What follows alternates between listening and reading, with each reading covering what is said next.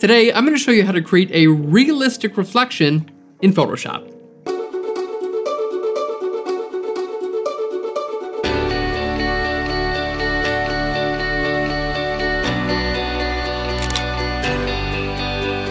Hey there, and welcome to Phlearn. My name is Aaron Nace. You can find me on phlearn.com where we make learning fun. And in today's episode, we got something super cool for you. We're gonna be creating a reflection in Photoshop, but not only that, we're actually gonna make it look like someone is floating over top of the water, and we're gonna use the ripples in the water from the original image to distort the reflection. We got some awesome tools for you in a great episode. Let's jump into Photoshop. So here in Photoshop, we're gonna go ahead and open up our sample images. We have our background, and then I went ahead and cut out our subject already. And you can actually download these on phlearn.com. Just follow the link in the description right down below. That way you can follow along with this tutorial. Now we did all the hard work cutting our subject out. So all we have to do is get our subject onto the background. We're gonna use our move tool and click and drag our subject right to the background. And look at that, ooh, I'm flying. This is the most fun I've had in my life. I want to make it look like our subject is like floating right above this little ripple, like maybe they came out of that water and magically have dry clothes. But it's not going to look anywhere near realistic until we put some sort of reflection in the water. You can see the mountains are reflected in the water, and they are, you know, like the ripples in the water are kind of like transforming the reflection from anything that touches it. So we're going to use a filter. It's called displacement, also known as displacement maps. What this does is it takes information from the image itself, and then based on the light and the dark information, it will actually displace your image either vertically or horizontally and make it look like it's interacting with that background. It's such a cool technique. So in order to use our displacement map, we actually have to have a PSD of the background. Literally all you have to do, we'll just do it right now, is we'll just make our subject invisible. You just need a PSD of just your background. So we'll just go to File, down to Save As. Okay, and here in my images, I'm going to just call this Reflection Background, and this is going to be a PSD. Well, just, you know what? I'm just going to call this Reflection. So this will be reflection.psd. Again, just make sure here where it says Format, make sure it says Photoshop. That's going to make a PSD file. Alrighty, we'll hit Save there. Okay. So now that we have that reflection PSD, we can use that in our displacement map. So let's go ahead and grab our subject. I'm just going to put our subject uh, visible for now. We got a little bit more work to make this perfect, but for now, we'll just try it directly on our subject. So let's go to filter. We're going to go down to distort and over to displace. Okay, so this is displace, also known as the displacement map. So let's click on displace. Now it's going to ask you how you want to scale this horizontally and vertically. So like a horizontal scale would be left and right, vertical would be top and bottom. Let's just do 10 and 10 to start with. We can always change this at any time. Now our displacement map, okay, you have a couple options. We're going to choose stretch to fit, and then we're just going to choose wrap around. Now, these two options actually won't wind up being that important because we're going to use a displacement map that literally covers our entire document. But Let's go with this for now and see how it looks. All right, we're gonna hit okay. Now it's gonna, as soon as you hit okay, it's gonna say, okay, where is your PSD? So we've already made that. So here it is, reflection.psd. It's just the background. It doesn't have to be fancy. It's literally just the background. So let's hit open. There we go. And we can see, in fact, we have some distortion. So let's hit just our little before and after. Here's the before and there's the after. And you can see our subject is in fact distorted. Now, we have a little issue that the distortion is happening, but it's not actually lined up with the photo that well. This kind of looks like it's being lined up with like maybe right there. So it actually didn't put it in the right place. Okay, so this is our little hurdle. Basically, because our background has transparency in it, like if I just make that invisible, there's a lot of transparent pixels on this. So it takes the layer size of what's actually on your layer and then it would compare the background PSD and try to like scale those two together. So my displacement map is not lining up perfectly with just my subject. So here's the workaround. We're just gonna hit undo real quick. All right, undo a couple times. So he's back to normal. You can see feet look like feet again. We're just gonna create a new layer. So let's grab a, a solid color fill layer. We're gonna go to our adjustment layers here. We'll go to solid color. I'm just to go to white. We're going to bring our opacity down a little bit. Doesn't really matter. I just want to be able to see through it. And we'll put that under our subject. So we have our subject, we have our solid color fill layer, and we have our background. Now, the layer with my subject, I'll just double click and call this subject here. I want this to be treated in Photoshop the same as this color fill layer. Like I want these layers to actually be like one layer, and that is just gonna help with aligning everything size-wise for my displacement map. But I need to be able to separate them out again. So what we're gonna do is turn these into a smart object. This is such a cool technique. And what we're gonna do is hold Control or Command. We're gonna click the two of those. Now we're gonna right click and we're gonna go to Convert to Smart Object. Boop. So now this smart object is being treated like it's one thing. So instead of just my subject being on there with some transparency, now we have my entire document. So it's treated like one thing. Let's go ahead and try that displacement map one more time. We'll go to filter down to distort and over to displace. Okay, same settings here. We'll just pop open reflection.psd again and hit OK. There we go. And check this out. Now it's actually being displaced. Uh, you actually turn this displacement off and on, which is super cool. Other advantage of using smart objects, by the way. So now the displacement is working in the right place, which is fantastic. Now, how do you separate out the subject and the white background? Well, because this is a smart object, let's just zoom out here a little bit, okay? I can close down this original one. We don't need it. Because this is a smart object, if you want to edit the contents of a smart object, all you have to do is double click on the thumbnail. So just double click there.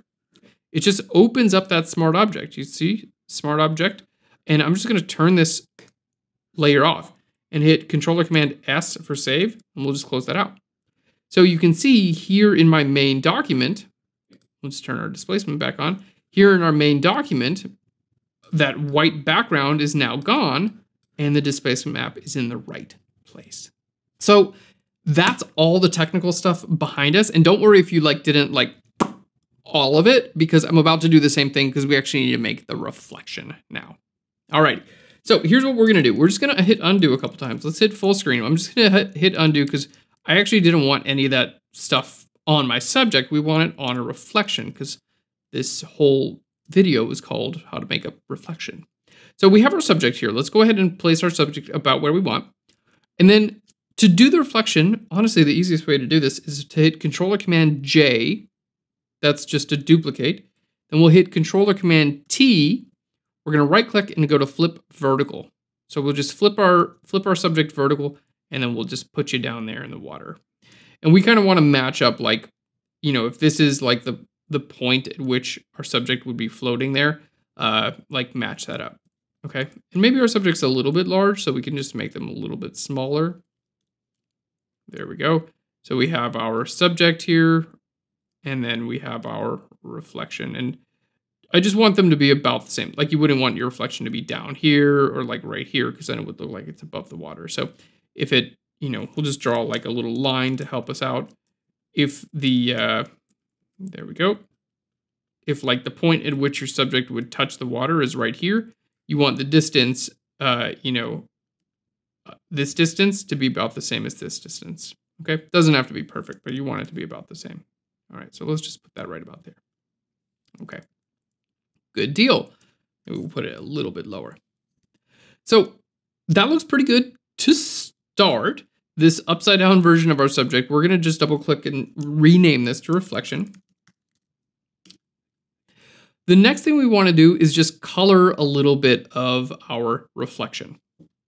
So we're to create a new layer. I'm to hit B for the brush tool, and we're just going to sample some of this color here in the um, here in the lake. We're going to paint it right over top of our subject, or the reflection rather. Now I'm going to right click on this layer two and we're going to just go to create a clipping mask. So it's only visible over top of that reflection. I'm going to change this layer blend mode from normal down to hue. You could do color too if you wanted. Let's do color. I think that looks pretty good. Now, I'm not going to have this visible all the way, but uh, I do want it to be a little bit of color. Just a little bit of coloring. There we go. I think that's starting to look good. And you don't have to do this coloring layer. In fact, let's lower it down a little bit. You can kind of look at the background. Like the background, you can see like a little bit more vibrant, you know, color here than it is here. Just like a little bit of a change. So you would want a little bit of a change, but nothing crazy. All right, we're gonna put this down to like 10% opacity. All right, and then I'm just gonna merge these together. So we just have our little color layer and our reflection. We'll just hit merge these together by hitting Control or Command E for merge. And we'll just call this reflection. So the reflection looks pretty good. It's got a little bit of color in it. It's in the right place and our subject looks pretty good at this point too. So we're ready to run our displacement map on the reflection. So we're gonna create a solid color fill layer underneath the reflection, and then we're gonna put those together with a smart object. Then, once we have our smart object, we're gonna run the displacement filter and use the displacement map that we created earlier. It's just a PSD of our background, and that's gonna help it displace with the ripples in the water, helping it to look more realistic. All right, let's do it. So for this, we just wanna make our subject invisible. We're gonna grab our solid color fill layer. We're just gonna go to white, put it right under the reflection and just lower the opacity a little bit. There we go. And now here's where we want to do our smart object. So we'll control or command, click these both layers, right click and go to convert to a smart object. So now we're ready to run our displacement map. So we're going to go ahead and zoom in. We'll go to filter, down to distort and over to displace. And now here are my settings. I'm going to choose a horizontal scale of 20. This is going to like scale it left and right, but it's not going to vertical scale it so much. Let's just do like a 2 on the vertical scale. Now, at this point, this is important. So we want to click on Tile, and we want to go to Repeat Edge Pixels, and then uncheck Embed File Data in Smart Object. So 22 Tile and Repeat Edge Pixels. Let's hit OK there. There we go. Reflection.psd. Let's hit OK. And check that out. It looks like the reflection itself in the water is affecting the subject's legs, which is so, so cool. Now, if you're like, this is incredible, you're right. It is incredible. If you want to do this like a little bit more or less, just double click on your displacement filter and you can change these settings. Like if I did like a 30 here on my horizontal scale, okay, we just open up the same thing. There we go you're going to see you get even more of a reflection. So you can kind of take some cues from, from the image itself. If I go, maybe I'll just do a 5 on a horizontal scale. There we go. Hit OK there. You're going to see we have still, it's interacting with our background just a little bit less. I think 25 actually. Let's do something right about in the middle there. All right, there we have it. Now, our subject, remember, that's just like he's hanging out up here. And we got to keep in mind that in our reflection, not only do we have the reflection, but we also have that white layer. So we can turn that off at any time. Just double click right here on your smart object, turn off this white layer here, close it out and just make sure to hit save when you're good to go. So now what we have is just the reflection right there in the water and it's being uh, affected by the water itself. So our subject floating above the water with her little reflection. Now I'm going to add just a tiny bit of a blur to this. We're just going to go to filter, blur. I'm going to go to motion blur and just put like, uh, we'll put zero, an angle of zero and just like a tiny bit of a motion blur in there. There we go. And then I'm going to add a little bit of noise over top of this and my subject just to help it fit with this image. So to do that, if you want to add a little bit of noise, it's actually really easy to do. I can just go to filter, uh, noise, there it is, and over to add noise. there we go. We'll just add like a tiny bit of noise, like not a lot, because it looks horrible. Like 5% or like 2%. Yeah, 2% looks pretty good. And then we'll do the same thing of our subject. So we'll just right click on our subject, uh, convert our subject to a smart object, and we'll just go to filter and add the same amount of noise. That is fantastic. So now we have our subject floating out over top of the lake with the reflection that's interacting with our environment. Thank you so much for watching. If you want to do this on your own, just remember these key steps. The first thing you want to do is make sure you save your background out as a PSD. This is going to be used later when it's time to load it in as a displacement map. Then go ahead and place your reflection in the area that you want and create a white layer underneath it. Go ahead and select both those layers and convert them into a smart object. This is gonna make sure it's treated as the exact same size as your displacement map so you won't have to try to line it up manually. Go ahead and run your displacement map on the smart object and then when you're done, you can tweak those settings if you want and you can double click right there on your smart object and just turn that white layer back off. This is gonna look like your environment is affecting the reflection. If you enjoyed this video, give us a big thumbs up and hit that subscribe button. We'll send you a free Photoshop tutorial every single week. Thanks so much. I'll learn you later. Bye, everyone.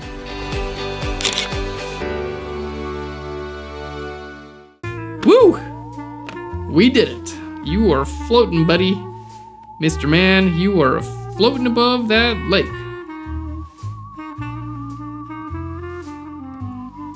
Yes, you are. Okay.